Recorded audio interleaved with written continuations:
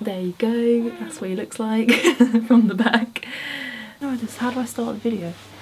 It was a Wednesday evening, the 23rd of January. So it was two days before my due date and I started getting contractions. It started off very mild. So five in the morning on the 23rd, the whole morning, the whole afternoon, the whole evening, and that's when it got really intense. They weren't like every minute or so, they were still like every five to seven to two minutes. So I wasn't really sure what time I should go into the hospital. My boyfriend wasn't with me, he was about an hour's drive away, and I told him, by the way, I think, you know, they're getting quite strong now. I was on the phone to you and I was like, I had to stop talking to you to breathe through Mm, them. That was a good thing. Huh? That was a good thing. So, yeah, I was like, I think you need to come now. And you was like, I'm coming. no, to start with, you was like, yeah, I'll come later. I was like, no, my contractions are here. I need you here. But you was like, no, no, I'll come like in a few hours. I was like, come in now. So I'm coming in a bit. Hmm? So I'm coming in a bit. yeah, coming in a bit. What does that mean? You ended up coming straight away when I told you. When I was 11, about 11ish, you arrived about sort of 12, 12.30. That's when I was like, oh my god. Because I was on the toilet, that happens, flushing out. Your body just naturally flushes all the stuff out. Mm. And I was like, this must be like something must be happening now because it was getting really intense. So luckily you came on time because an hour later, was an hour later? We actually went to the hospital and I was actually four centimetres, which means you're in active labour. First midwife wasn't that great though, was she?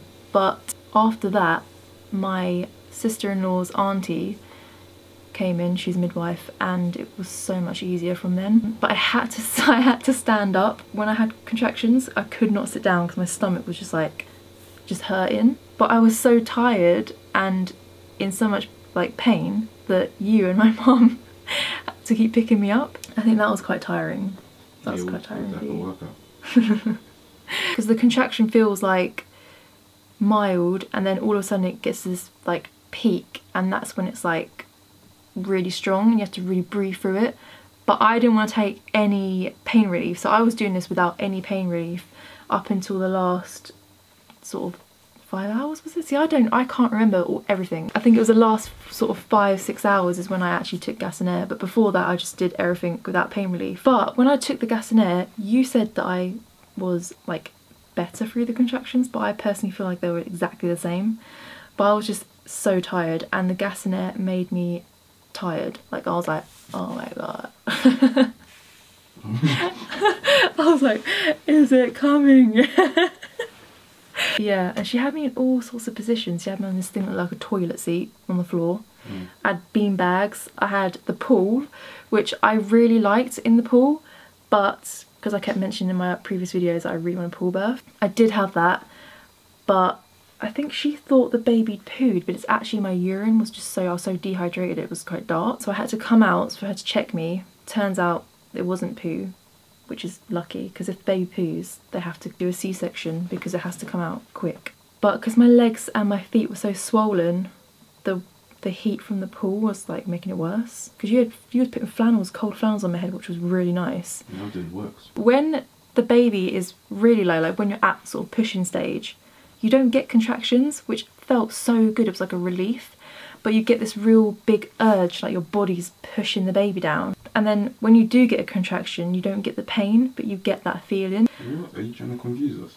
No, it's it's hard to explain. When they say ring of fire, like that is so f***ing true. I have to beep that out because I'm not asked there. Why? When, because YouTube do stuff to your video, If you swear. yeah. So I'll go f***ing. Well, then I have to beat that out. Can you not make it my editing worse for me? anyway, You know, man. Stop. Stop the gun. it literally does feel like stinging when the head is out. So I was like screaming on the top of my lungs mm. because I was like, oh my, this is like a whole new feeling. And I was like panicking because I was so tired, and that gas and air made me really like drowsy. Mm. That that new feeling was like, what, what the hell? But now I, that's the thing is, now I know what to expect. I feel like I'll be better the next time. Why do you keep saying next time? I'm going. I'm just jumping now You're, you're doing too much. You're doing too much. because I don't know where to. I don't know how to do this video. I should have written it down. You should have bullet points. So we should have told them you were sick. Oh, I threw up all over the floor. That was nasty. Then you pissed yourself. My dinner. I pissed myself. Then you pissed yourself. Well, obviously they make you. This is what I didn't know. Then you shat yourself. Apparently, but I don't know. I didn't see it. Yeah, you shat yourself. Remember when you stood up? You, like, you shat everywhere. No, I'm joking. You didn't. I was gonna say I don't remember that. was I there? No, I think I did. I, you know. You know when I. Huh? No, I. I did You did. a little bit. Yeah, that's nasty. Thank God I didn't see. No, you know when I kept saying, Maybe, "Oh, maybe that's when I fell asleep. oh, you." No, we- we'll get to that bit. Oh, this is, this is going to be a long video. No, listen, right. When I kept saying to you, "Oh, my I, my body's like pushing," because like when I was going through the contractions, I was breathing, but my body was like pushing. But she said, "Don't push," because I was only eight centimeters then, and by this time my waters hadn't broke yet. Even though the first midwife said they have broken. Wait, hold on. Remember she said, "Oh, your waters aren't broken." She had to break my waters, and it went everywhere. I'm really confused. What bit are we at? I'm jumping. I'm still okay. Forget the whole baby's coming out bit. I've, I went too far. Let's like rewind a little bit. What the hell are we doing with hands? rewind. oh. Let's rewind a little bit. So you're to do the little you? Yeah. Oh, Uh, oh. We're at eight centimeters now. Contractions are getting more intense. Oh, what bit am I at? How about this? Yeah. How about that? What's the worst thing about childbirth? About labour. I don't think there is a worse thing because it's not. It's not as bad as I thought it was going to be, but the contractions are when they hit their peak. Oh, do I really have to go through this again? Like another one's coming in two minutes or one minute. But we had a little emergency at the end. See, all the whole thing was fine. I only had like one midwife and a student doctor, which she was really good. She was She made me yeah. squeeze her hand. She was like, "Yeah, just squeeze my hand," and I was like, "Okay, I'm gonna squeeze it." And she was holding the gas and air for me because I needed you to hold on to, I needed my mum to hold on to, and then she was holding the gas and air. And then when one of you went out the room to get a drink, and I was like, "Where's my mum? Where's, will I say your name? Where's Doodah?" you know, I need someone else to hold on to, and she she was there, and she was great. And then for the last about five minutes, they had to ring the buzzer. But by this time, I was on the floor. Baby's head was out, and they said, "Right, you need to get up quick. You need to get on the bed. We need to get this baby out of you now because basically his shoulder was stuck in my pelvic bone." So, Maybe it was too hench, that's why.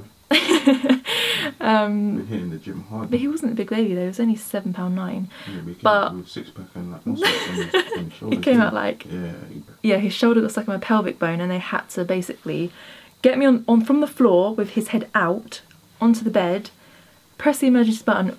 Loads of people ran in, and I was just like, oh, "What the hell's going on here?" And then two women grabbed my legs, pulled them back, told me to push, and I think someone was was someone pulling his head out as, at the mm-hmm. same time as I was pushing. They did that in four minutes, and they basically said we have around seven minutes to do that in, or it would be literally rush you out and forceps. Mm-hmm. If that doesn't work, then cesarean, but like literally that quick because he's losing oxygen basically. And he was at the point of it was like, yeah, it was quite bad if he went further than that. But all was good anyway. They got him out in four minutes. They they rushed him out.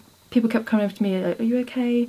Don't worry, he's out there." Blah blah blah. He's there, just you know checking him over. And I was like, like I was absolutely fine because I knew that, that had to happen, so it didn't bother me. But at the same time, I was so tired. I was like, I literally just don't even know what to think right now. Your partner's there, don't spit all over the gas and air mic as well. Let him take some gas and air. Just in I was like, this is good to like chew onto. I was like, Yeah, I was nasty after you done. I was making so many noises. It's unbelievable. Yeah, like so- sound, sound like a goat. I was like, like that. Sounded like sounded like a friendly ghost. I wasn't doing that, but One um, time sounded like a horse. a horse. Yeah. I don't know. I don't know what. You, something came over you that day, man. I know. Labour is messy. I was going. Like that. Okay, I can feel it. I can feel it. I've blown you I away. can feel it over there. But I see, I don't think child labour was as bad as I was. Like, I went in there with no expectations because I, I didn't know what to expect. So I was just like, go with the flow. After, when the baby actually comes out, it's, it is true what they say the pain completely stops, everything completely stops, and you just feel like this sense of like oh, relief. Hmm. I could just be like, oh my god, all that is, is ended, and it felt good. Mm. Mum, do you wanna do you wanna say what you thought about the delivery? Eh? What? Do you want to give your opinion on on the labour? What labour? What are you? On Paresa's labour. Why? Oh my gosh! It was good. You did really well. See. oh, that was it. No. When I was pushing the head out, screaming my head off, I had you snoring behind me. It's not snorting. You were snoring. It's just. So I was like trying to focus on this and pushing the, the baby out, and at the same time I was hearing you snore. It was like the weirdest thing. Mom, seriously. I'm recording a video. You got some. fing- You got some fingers. I've got some fingers. Is it chocolate ones? Or bread ones? I oh, for hot dogs. Ah. Halal though. Jesus. Then I gave birth to the placenta. This lady came round, gave me an injection while someone else was doing something else to me. I'm pretty sure it was about a minute or so later. um, they pulled the placenta. That was weird though, because she had to push my stomach, and it was like tug of war. Mm. It was like she was pulling the placenta out, the cord, and then the placenta just came out, and I was like, oh, that's weird. Because it kind of felt like giving birth again, but not with so much pain. It, it was a bit like, oh, okay, that was weird. Mm. And then she put it in this bowl, Mm. and then you, that's when you saw it, Yeah, and you was like, what's that giant kidney? they had to get me on this bed to that bed, and I was like, how am I going to do that? Because I had to be stitched up, so I had to be on a special bed with the things you put your feet in. Anyway, those took an hour to stitch me because I had second degree stitches, um, tears, sorry, and I had grazes as well. I thought it was meant to be a story.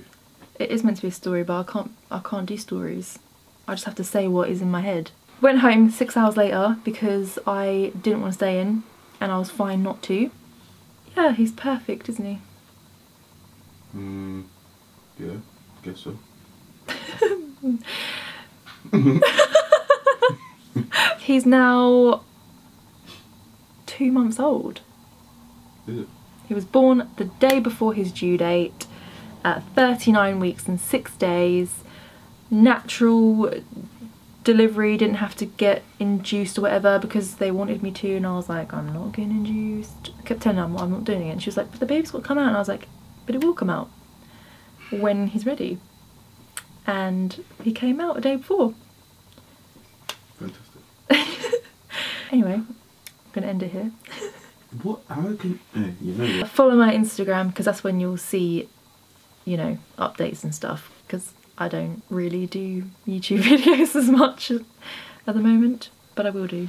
Now I've got a new ring light. What is that creepy smell? oh. Thank you so much for watching, and I'll see you in my next video.